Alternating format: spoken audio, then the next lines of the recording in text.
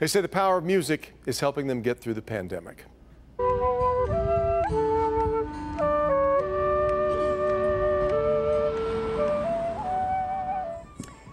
This group of professional musicians out of work because of the coronavirus, and they took their talents to neighborhoods during the lockdowns. But as the Night Cam's Tim Pamplin shows us, their performances are now going virtual. Welcome to West Lewiston Street in Ferndale. Typical suburban neighbourhood, sort of place where the mail carrier knows everybody's name. And recently, it's been home to the Driveway concert series. Because it's good for all of our souls, and if people happen to walk by, maybe it'll lift their spirits. She's one of many local musicians out of work and looking for an avenue for her creativity. It was 37 degrees the very first one we did.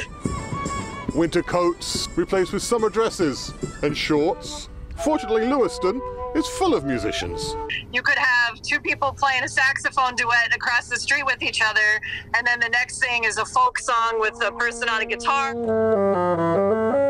And as lockdown was lifted, it was clear the Driveway concert series had served their purpose. And then Stacy came up with the idea. It's something you don't see very often, bassoon ensemble. So she contacted all of Southeast Michigan's bassoon players. There aren't that many. I'm not going to lie, it is a little bit of a weird instrument. It is. Uh, and you call it the burping bedpost. Well, I wouldn't go that far. Back in your box, Scott, you'll often find him on stage with a DSO or in the pit at the Michigan Opera Theatre. Like I say, these professional musicians, representative of so many in our region, right now simply can't give public performances. So they've turned to the internet. It's just wonderful for us to be able to collaborate virtually. It's not the same as being next to each other, but I'll tell you, it, certainly feels good.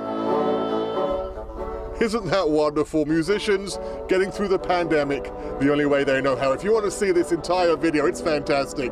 Go to Click on Detroit, type in the word bassoon. I'm thinking it might be the only story we've ever done on bassoons. In Ferndale, with the Night Cam, Tim Pamplin, Local 4.